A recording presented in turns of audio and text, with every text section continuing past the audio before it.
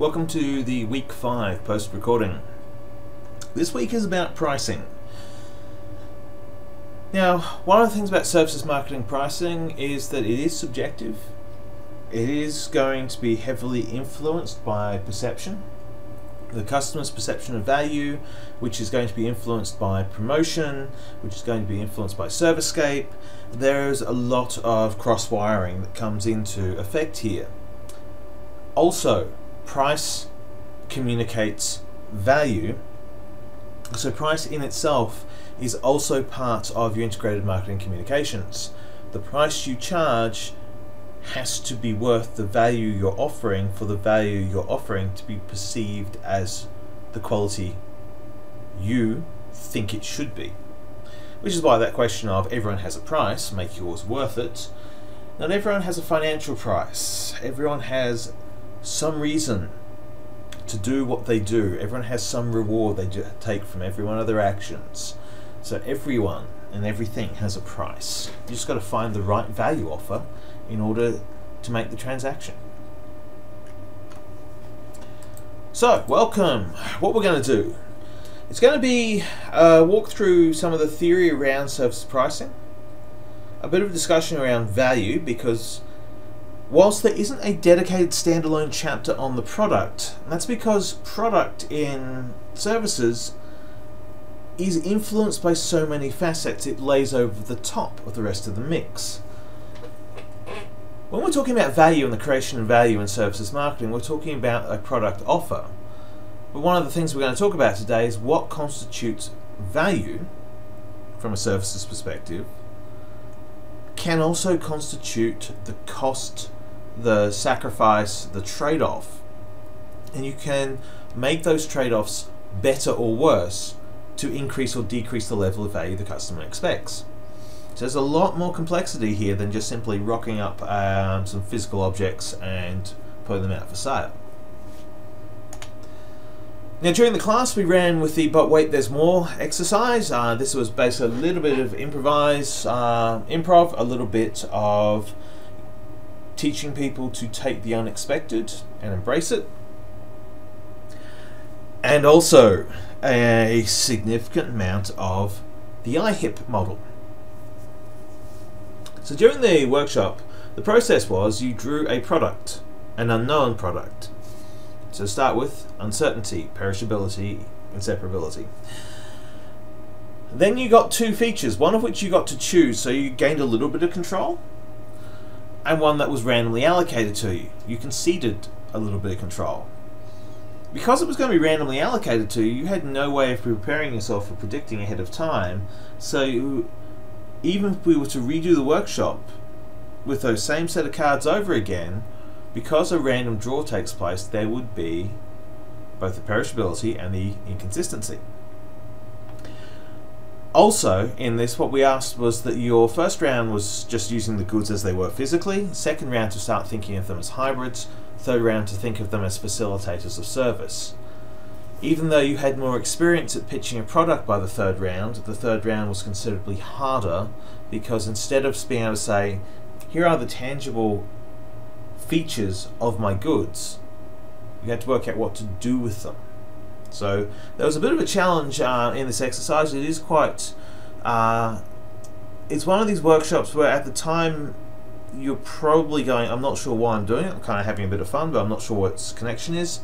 Here, its connection very much is to one, seeing that the value offer and the value composition is difficult.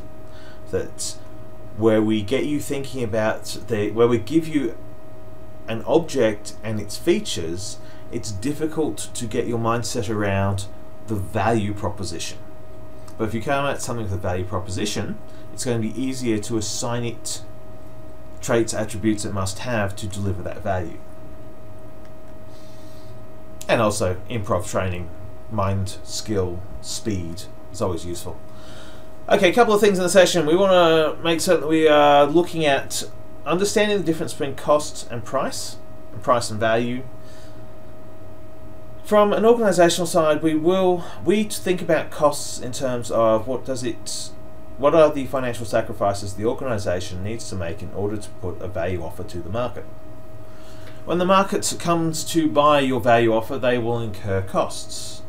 But what is of interest to us is when we're thinking as marketers, what is it that the market is prepared to tolerate? What is it the market seeks from the value transaction? And do they want high, medium, or low prices? Because there is a market demand for a high price, which, if we don't reach it, if we don't recognize that in our market, we will cause dissatisfaction by lowering our prices. So, let's talk about value. Co-creation says value is in the eye and skill set of the beholder. Service dominant logic says it's only in the eye of the beholder if you're using the beholder. And services marketing says, well, if the customer is present and it's a high contact service, then it makes sense. Otherwise, so the key things here is you want to have in your mind a little bit of separation between what it's going to cost you to make your product, which is a cost for you, versus what it's going to cost your customer, which is the price you're setting, versus what is the value the customer is going to get from your product. Now, value is super important here because value is the core of the whole services marketing process. This is why, although there was a little bit of pushback from the audience, the start of the semester and all the way through, we've talked about offering that has value or the services marketing value offer because it's moving away from goods and services. It's moving away from the idea of the either the tangible or even the, the preset, the pre-specified, and into what is it the customer gets out of being part or party to the service delivery. Now, we'll come through value and cost a few more times, but basically, uh, this whole idea of the offering that have value, there are value modifiers, as I'm calling them. You will pay more for a service that is closer when you need it. You'll pay for premiums for convenience, you'll pay premiums for speed, you'll pay premiums for quality. So there's a core value and there are modifiers to the value. But you also pay premiums because they give you a value. They give you something useful back. Uh, the value co-creation, there is a the required level of participation. What does it cost someone to use your product? in order to unlock the minimum viable value. So value in itself is a trade-off between the, what the customer has to sacrifice or forego in order to get the reward that's embedded within your product offer. So this is one of the key things about the modern value co-creation is that it's a trade-off. We can ask the customer to do incredibly expensive cost incurring events if they feel that the reward is worth it at the end. So some of the costs are listed on the screen here. Financial price we're familiar with, it's the dollar value. But then there's also time price. How long does it take to unlock the value of the product? How much effort is required to unlock the value of the product? Sorry about this subject, it's very effort expensive. What sort of skill level is required? Well, if you're going to unlock the full value of an assignment, there is a level of skill that you have to possess and display and demonstrate in order to get the most out of the assignment. It will cost you mental energy. What is the cognitive workout that you need to go through? Have you ever had that moment where you've gone to, you fired up YouTube, and all you want is some mindless cat videos of pets doing funny things, cats chasing a laser pointer. You don't want to think. What you're looking for is low mental energy expenditure in your service. If you have these moments of, don't make me think, just let me enjoy the experience, you're looking for low cognitive, low mental energy. Now, I'll also point out that there are other um, prices here in terms of psychological costs, uh, and there are facets to a service that you have to take. Every time I ask someone to speak in class, I am making it a psychological cost. There is an expense. Every time I'm asking you to engage in certain activities in class, time, effort, skill, mental energy, and psychological costs are coming up. So you're already used to dealing with costs. The mission critical part is to give those costs a benefit that outweighs them. So the value co-creation, unlocking benefits that exceed the costs. Now, the paper, the Woodall paper that's gone up onto the Wattle site, I came across this one because I got to see uh, Woodall presenting a paper on value and higher education at the British Academy of Marketing Conference in July this year. And their concept, like their paper, also as a as a marketing academic, this is a really good paper for understanding the complexity of our discipline. And also yes it's a little bit old now but that's part of the fun of it is that 15 years ago this is how complicated value was. And that's 2003 service dominant logic hasn't launched yet so you think how complex it was before SDL hit the market. So this framework, this framework here, why it's important to you is that it's showing that there are multiple ways in which you can extract value from any given thing.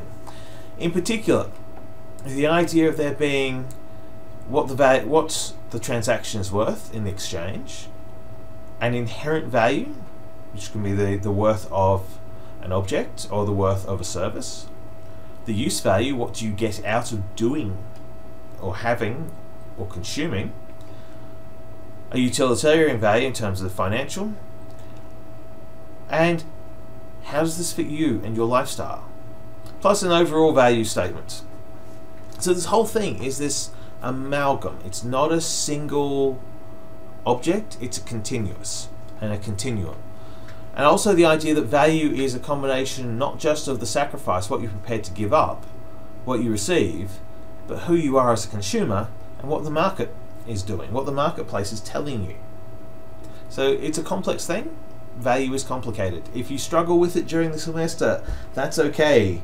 Look at this guy's paper, 2003. He wrote an enormously complicated paper, and the following year, Service Dominant Logic came out and said, well, value is embedded in all things as a service. So if you think you, I hate SDL, you want to know what this guy's opinion would have been. Now, pricing. The sacrifices element. This is also because the fundamental philosophy of this course, embrace or mitigate. In this paper, Woodall talks about sacrifices. It's the only time I'm ever going to be able to say human sacrifice is on my list of prices. It's human energy, but still, it's a human sacrifice.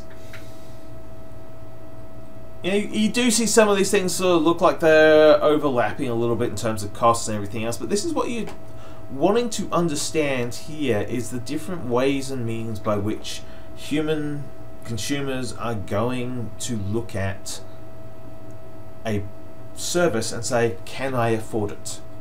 Can I afford it in terms of can I pay the money for it? Is the market price that's being asked for it a fair rate? Say hello to surge pricing. What are the secondary costs? What are the costs of use? If I'm going to, um, I'm going to pick on my Anytime Fitness gym again. Uh, I'm paying my 30 bucks a fortnight for my gym. It will cost me two hours per day I train to train for 90 minutes because there's a 15 minute top and tail getting changed. But it's also going to cost me the 20 minutes to get there and it's going to cost me the 20 minutes to get home and it's going to cost me the gym kit and it's going to cost me the as I start training and training more frequently it's going to also cost of use will come into the modifications to the diets the supplements suddenly there's $39 something 30 bucks a month is picking up on a heavy use week At an additional 30 bucks per fortnight, 20 hours, and I have no conception, but I'm going to say about $150 of additional food. That's if you're ordering those ready to meet, ready to eat gym meals. It's not 30 bucks. A, it's not 30 bucks a fortnight anymore. It's a lot more expensive. So pricing, total cost, total price, the idea of an overall overarching sense of what does the service take to consume it? What will you need to do in order to get value from your service? What do you have to pay? And that's excluding the fact that if I'm going to the gym to get my 10 hours a week up and I'm going and hitting the gym uh, four times a week, it's, it's split program, legs on one night, back, shoulders, and chest on the other night, skipping core every night because everyone skips core. There's energy expenditure. There's coming out of the gym tired. There's the time I spent in the gym. There's also the effort. There's the cognitive, I have to think about how I'm training. What's my training goals? There's the psychological costs of, oh God, do I want to put myself through this? I still don't know why every gym I've ever had a membership at is on the second floor with a staircase. Do they want us to skip legs day? But then there are other elements here, not just in costs of use. There's things like the opportunity costs. The two hours I spend at the gym are two hours that I'm not spending somewhere else. And I frequently will trade off the ability to go and play Borderlands over going to the gym. But at the same time, I will trade off getting things done at work over playing Borderlands over going to the gym. So there are a whole bunch of non-financial and non-monetary costs that I will trade off in order to get the best out of my week. In the midst of all of this is just looking at all these things going, on one side there's sacrifices, on another side their value offers in waiting. The psychological cost of doing an extreme sports event. Now, I say this as someone who does live action role playing. The psychological cost of standing in a field in quasi medieval armor, hitting another and being hit by another with a um, rubberized sword, that's a reasonably high price. Except the return is phenomenal. I love it. But it takes time costs, it takes financial costs, it takes all these other elements in, but the psychological costs can be turned into a psychological feature. Yes, we are part, you know, take CrossFits, take gyms, take extreme sports, take anything that sets you apart. The psychological cost is that you become part of a the other. You become part of a group that's not part of the mainstream that can be turned over into a benefit. It gives you an elite status within your own little circle community of people who are also participants in this area. The energy that you expend on something, the difficulty factor it creates, can become a feature that you can sell. Even the monetary cost, a super expensive service is a signal that you are rich enough to afford it.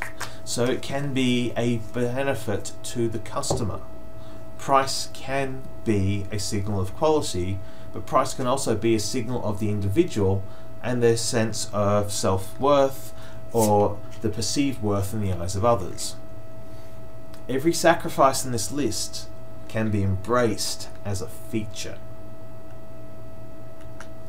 So let's get into the pricing. Pricing is literally the hardest part of um, all marketing. It's the bit also in services marketing is the bit we do the most discounting on because we do subjective things and then go, yeah, look, I know I worked it out that my actual price is $175, but I'd really like to get the contract, so here's 75. You just cost yourself 100 bucks. But your your assumption is that if you didn't drop it by that, you cost yourself 175. So there, there are challenges in this as well. There are psychological prices to psychological pricing. Now, I raised this uh, idea in the class. this is a one of the sort of discussion style questions that suits my examination formats quite well. And it's this idea here that when you see the keyword in the sentence, the keyword is discuss. There's no right answer. There are wrong answers, by the way, but there's no right answer. There's no perfect answer. What there is is the case that you mount. Now, briefly, uh, batting for both teams here, if you were to argue for a case where prices should be set on the perceived value of the service, an initial argument that I can raise is that where a service has an easily accessed reference price, perceived value is a good use of the service pricing. A high level search attributes people can make assumptions about the service prior to its use. It can be semi pre experienced or semi demonstrated, or if there's a certain level of routine, standardization, or familiarity. Then perception of value is a good aspect because people will have a reasonable perceived view, a, will have a reasonable view of the service, and we'll have a reasonable perception of what it's worth. The more, the less heterogeneous it is, the less inconsistent it is, the more standardized value-based pricing will apply, and also if you've got multiple competitors. There is a sense everyone knows what a certain price, everyone knows what a haircut's worth, roughly, how much, what you'd expect for how long, and what a taxi fare's worth, and what so there's a bunch of things where value-based pricing is going to work because people have got an assumption of value. The case against is where, and this is one of the cases, there are multiple cases by the way, I'm just picking the thing that you can argue either side. If you come into this and go, actually no, perceived value is a terrible idea because the customer doesn't know what the price, doesn't know what the service is worth a high credence attribute product where you're never sure whether you got good quality overall is a terrible place to try and go and get someone to price it based on what they thought the, the event was worth. Similarly, experience-based pricing is on the mid card here is part of the way through the service when they are enjoying it the most is probably when they'd be willing to pay the most for it, but you can't really interrupt them and say, check please, or pay up please, halfway through an experiential service. Uh, I also think that, uh, I'd also argue that where you're looking at a high level of customization and there's high levels of variable costs, that the organization wants to retain the ability to price based on what the product is costing. So you want a little bit of cost base um, to be available to you so that you're not going to go broke because whilst the customer thinks, oh, that should be free, or that should be really cheap, or I think that's worth about 10 bucks, in reality, it's costing you 150 bucks to do, so you should be pricing it around 200. Also, products that are very early into the markets, where people don't know what something's worth or they haven't established a price for it yet. Value, but perceived value of the service makes it difficult. In the case for, perceived value can also be beneficial where you are price premium, you're going luxury pricing because the perception of the value drives the assumption of the quality, and the assumption of the quality is driven by the price, which is a signal and social signifier of a high price indicates high quality. Therefore, our perceived value of the service is going to be quite high because they're charging quite a lot. The key, by the way, in this is the argument you mount, how you present it, the evidence you use, the arguments you make. Now, a quick thing on price segmentation. The reason why we absolutely hammer you about segmentation in services marketing is you can do differential pricing based on your service market segment. Two things required. You must be able to identify that segment, so you may have to know who they are, and you must be able to reach them independently of other segments. A third requirement is that you shouldn't be able to on-sell your ticket from the low price segment to the high price segment. Case in point is always going to be festivals, concerts, and ticketed events where scalpers will come in. Now, I made this argument in the class, I'm going to continue to make it. There is a segment of people who will pay $1,500 or more for tickets that are worth $70. So you should make that, you should give them the chance to live their dreams by selling $1,500 and $2,000 tickets. So they're going to pay the scalper 2k, you might as well get that 2k. Because they see a value in having spent that much money on that product. So the key to it is your segment's got to be responsive to your price offer. They've got to be identifiable. They've got to be targetable. And your variance in pricing shouldn't confuse your customer. Shouldn't. If you are doing an ultra luxury price for the far too much money crowd, the stupidly rich, that shouldn't put off the main body of the audience who's going to pay a reasonable price for you. So your segmentation is also going to be important because this is going to start doing things around determining who the other customer is in the services market. To an extent, and uh, if we take Future Music Festival back in the day, Australia used to have a lot better music festival options and opportunities.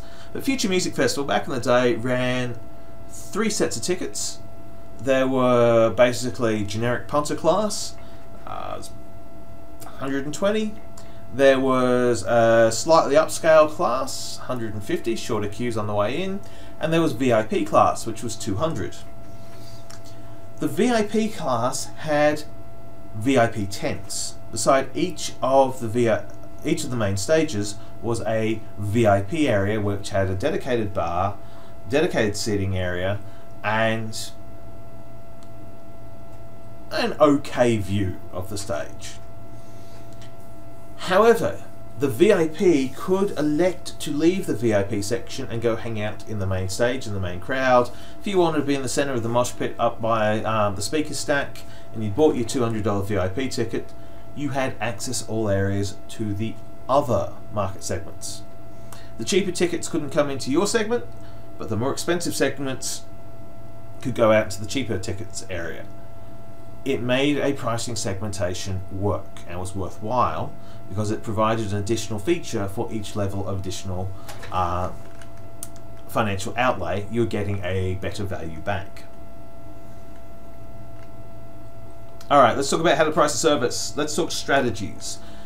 If you've done intro to marketing, you should know that there are some basic price strategies like price skimming, price penetration, prestige pricing. We're going to talk about a couple of different services pricing elements here. Satisfaction based pricing. Um, look, this only works if you can put the price up as people are more satisfied. Uh, but that's dangerously close to bringing in factors like tipping, and tipping is a terrible thing, should never be encouraged. Uh, relationship pricing is where you're going to use your uh, your idea that there's going to be a long-term transaction here. Uh, so, bit of price bundling, bit of long-term contract, bit of assumption that you'll if you're doing a one-off event that you'll pay a higher um, you'll pay a higher price for a one-off transaction because there's a lot of setup costs involved for the organization, for you as the provider, but the longer the relationship goes, the more likely it is that you're going to get the co-creation, you'll get the value, both parties will have um, reduced costs in terms of maintaining the relationship because of the experience that they have in providing service and receiving service. Uh, there's efficiency-based pricing, which is a terrible decision. Please do not do it. Efficiency-based pricing says that the better you are at your job, the less you can charge someone, which is a terrible life choice. Skip it. Uh, temporary pricing, adaptive pricing, flat rate, oh, different rates, surge charges. There are surge charges, discounts. The whole idea of the Wotif.com was it came from this thing called lastminute.com which was hotels trying to offload their excess stock because a room that's not used is a room that has perished. So you're better off getting slightly more than it costs to clean the room. As the the here's the key. Room cleaning costs a certain amount of money. So for every hotel room that's used, that is a cost the hotel incurs. Now, if you are going to automatically clean every hotel room, irrespective of its use, then you're going to incur that whether someone used the room or not. So what you need to do is set your price so that you're at least covering the cost of the cleaning services and that becomes your minimum rate. You have a higher rate because you want to pay the staff, pay the bills, maintain the building, turn a profit, but you then have a last minute, a minimum rack rate you're prepared to let the room go for because you're going to lose money on it if it's empty, so you might as well not lose money on it if you can fill it with slightly more than it costs. So that's the idea of the original sort of lastminute.com last minute pricing. Uh, it's now just Wotif and last minute are just brokers now. They're just like a standard brokerage service uh, there are no, there are very few logging onto the website at, um, yeah, logging onto a hotel website at five in the afternoon to find out if it's got space um, for the overnight.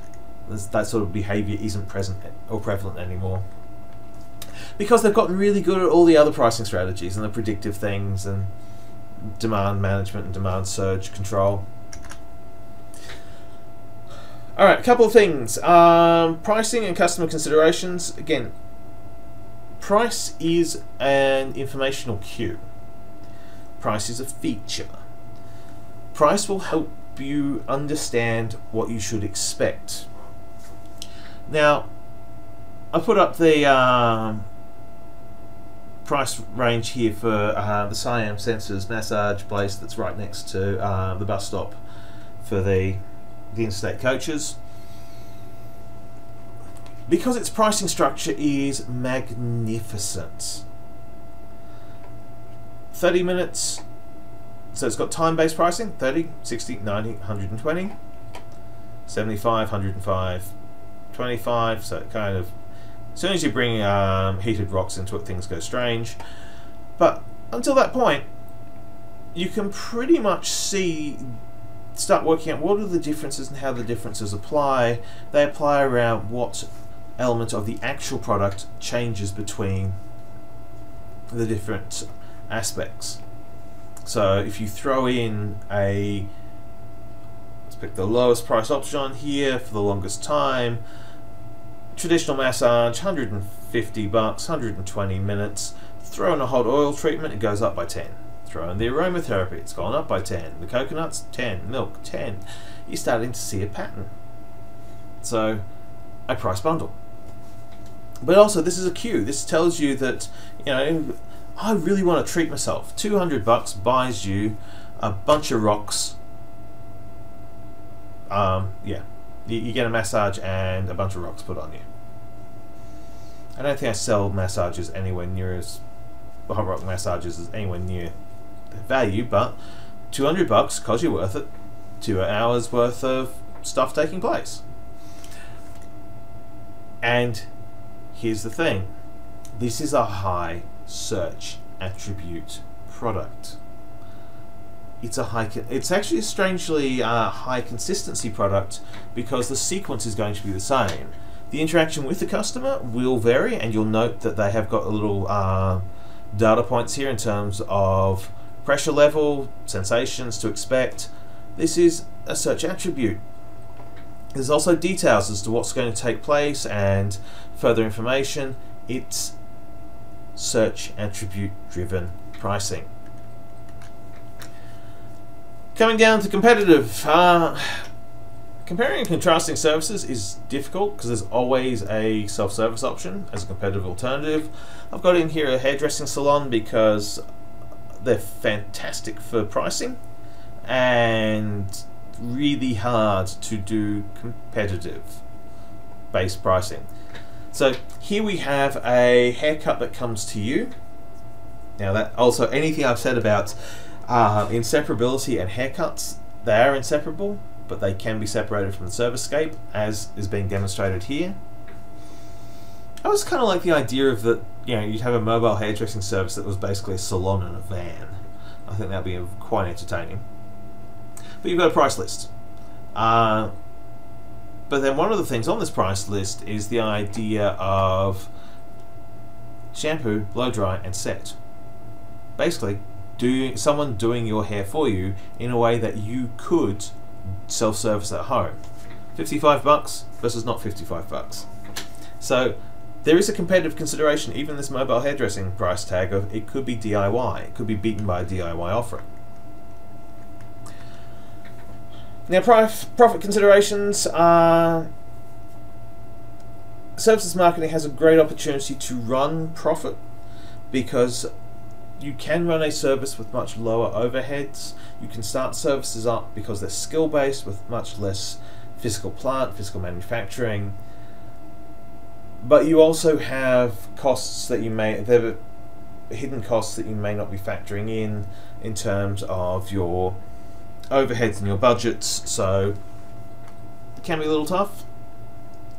Now, profit-based pricing as well, though, should be that individual prices in the in the bundle of services may be hard to separate. In this case, we're going to talk about um, a, a local restaurant that's got an okay pricing scheme, but you look at these two products here. This is the lunch. $66 for the lunch. Now, a mission critical thing here in this is you can't unbundle. You can work out now the sides cost nine bucks extra, so you can take your 66 to more than 66. You want throw a cheese board on the back there, that takes you up to 88. But each of these artifacts in here, with the exception of the sides and the cheese board, can't be easily separated out. So this provides you with a moment of okay, how much is each element? They're all bundled together, you can't separate them out. You don't know, you know, they might be making an absolute killing on the cheese platter. It might be costing them two bucks to put together and they're getting it away for 20. They might be losing money on the entrees, but the entrees are the hook that gets you to buy the mains, so it's worth it. But across the bundle, it all works out. One thing that does occur with this pricing, though, is that there's a little bit of a price problem when we raise, when we bring up the wine list. I'll let me just quickly show you the uh, the wine list here. So, your standard price here, something out of the Canberra region, 68 bucks for a bottle. So, if you come in for lunch, you could pay more for your bottle that goes with your lunch than you did for your lunch. If you come in for dinner, and you want to crack open a couple of fancy ones to celebrate, you're going to rack up a greater expense on the drinks. Now, yeah, I'm in the champagne section, I know. Then you're going to on the dinner menu. So the question I ask is, if you've got a $2,000 bottle, or even a $300 bottle, or a $5,000 bottle, is the lunch and the dinner priced correctly? Is it a comparable price? Is this price package the kind of person who's going to rock in and go, Garçon, the 93, thanks, and lay down a smooth 5k?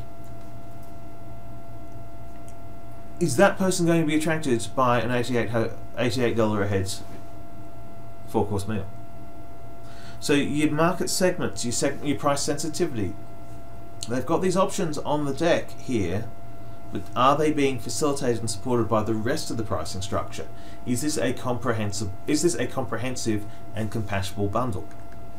So whilst on the surface I could be I could be seen as criticizing the price at $88 for being expensive, I actually think it's a factor well below. I think uh, the four course dinner menu should be around 400 to $500. If you're going to be pushing a wine list or a champagne list like this, you want four to five hundred dollars a head. You want people dropping a couple of K a piece. because that's the kind of market that's not going to blink at doing $300 a bottle and multiple bottles. So you want to make certain that your prices are always internally consistent.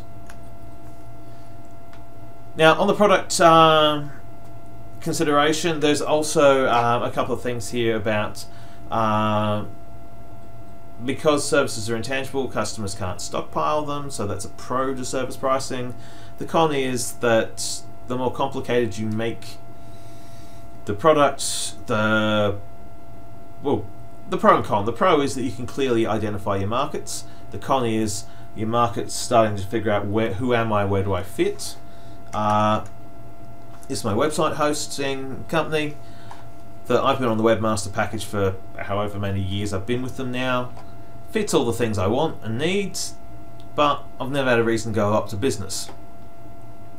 So, on the webmaster, 50 accounts, 21 domain names, mostly the same, mostly the same.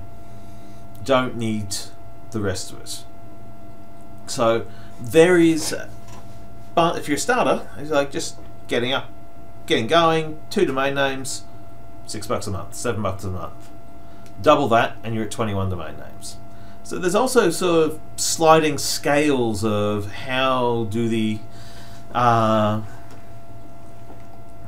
how do these things work in terms of the sliding scales, 1, 5, 10, no limit. There, there are certain things like that that when you're starting to do price bundling, there's a certain point of economy of scale in the service delivery that you've got to be uh, thinking of for the customer. At what point does it get ridiculous? It's like, technically, at the moment on the hosting package I've got, I could have far too many email accounts. And the thing I like here is that I can only host my own accounts and I can't provide hosting for third parties, but I can have 200 of my own email addresses. Not entirely certain, like I've got an idea what I can do with 200 email addresses, but that's not the point. As an individual purchasing this, some of these features aren't going to be of use to me, but I can't trade them out because they're price bundled. Uh, legal considerations in pricing. Honesty and integrity are important in services marketing. Uh, particularly, this is one of the reasons why Cashi's up here because it's run as an. I know the guy who runs it, and it's was set up because there was a lot of non. Uh, how should we say? There was a lot of interesting pricing structures that were taking place, and particularly multiple bill, billing times of a mechanic who'd be billing an hour for working on a car for the four cars that were in the garage were each being billed the hour and he was spending 15 minutes on each of them. So technically he was working for an hour, he just wasn't working for an hour for your car. He was working for an hour for the firm and they were billing all four cars at the hourly rate. Consequently, this mechanic service came up on the grounds of mechanic home mechanics and servicing and mechanical servicing can be high in credence. If you don't know much about your cars, you don't know whether you got a good service or a bad service. If you do know about the cars, it's being done at your home and you get to sit around the place talking to the mechanic, watching the mechanic do the work. It's experiential. And if you know basically specifically what you need done, it's search because you can just call up and say, hey, need a mechanic to do XYZ. Come over, get it done. So the idea here is that the more search-based prices are easier to compare, so they are less vulnerable to uh, unethical practice. Credence is very vulnerable to unethical practice because even if you get a good price and a good service, you don't know if you got a good outcome. Let's talk about how to price a service, closing, heading towards the close. We have two pricing calculators here. This is financial pricing a service. And this is an important facet that I really want people to understand is that when we talk about pricing a service, we are talking about the financial price that you incur. Let's see how it's going to play nicely for loading. So these again, we're talking at the hourly rates. Uh, this particular element, here's your equation. What's your hourly rate? What's your billable? Fixed price, pop-up advert, perceived value. All these elements here, there's an actual calculation here of what do you need to do to run, to set your price. Uh, one of the ones that I'm quite fond of in terms of the service pricing is to work out how much it is you want to earn in a given time period. So how much do you want to earn in a year? Divide that up by the number of weeks you're prepared to work. Divide that by the number of days of the week that you want to work. Work out how much you need to charge for each one of your days, then work out how many times your trade-off needs to take place. So here we have the Queensland Government website with the actual costing thing here of okay around $1700 50% markup that's what it's going to cost. It'll cost me two and a half thousand to deliver this workshop uh, for flights travel accommodation everything else. 50% markup says minimum price I can ask is 30 37.5 so this particular calculator is very good for being able to work out and this lets us do the charge for hours. So, standard academic working week, 60 hours, 9 hour days, because we're really bad at this. Um, our union needs worse with us. Days off, sick leave, miscellaneous, yep. Annual expenses and overheads. Uh, profit you'd like for the year, so look, let's be honest here, being an academic ain't, academic ain't, cheap, ain't easy and let's say we want to be real about that. The other thing is, you, I'm wondering whether you can actually reverse engineer it. No, you can't. Uh, so your pricing. Here you can actually calculate some hours and some numbers and what it is you want to do. So, what is it going to get you? And so there's a couple of uh, pricing calculators. There are also the government. The Queensland government's really big on people having um, success. So they do also include some basic things around pricing strategies, skimming, penetration, image, discount, loss leader. So welcome to um, welcome to the fact that the government supports small businesses to do small business things. All right, final thing to recap: pricing is difficult. Because price, also at this point, I need you to have in mind that you don't have all the pieces of the puzzle to make the price decision. Pricing draws on the rest of the mix. Pricing is a signal of value, so it influences branding, positioning, and integrated marketing communication. It also loops around as a means by which people set their expectations based on your price, so it influences the perception of the service, the expectations of the service, how people perceive it, so it influences the product. Price can also be determined in, can be a determinant around who are the other customers in the process, so it influences people. And price can also do things with regards to distribution in terms of reducing or increasing access to the service. So price influences the whole of the mix and is influenced by the mix. But also price fundamentally is the thing that keeps the company alive. Product is the reason people will come to you. The value offer is the reason people come to you. Price is the reason that you can keep going and offering that value back to the market. You have to price high enough there's an ethical and moral obligation that if you are in the business of solving a problem for someone as a service, you have an ethical and moral obligation to stay in business to continue being the solution to that problem.